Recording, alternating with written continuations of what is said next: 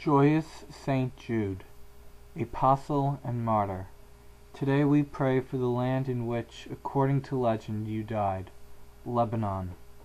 Saint Jude, you were one of Jesus' twelve apostles. You knew and loved Jesus. After his death you traveled to many lands preaching the Gospels. Pray that we can attain the love that you have for God.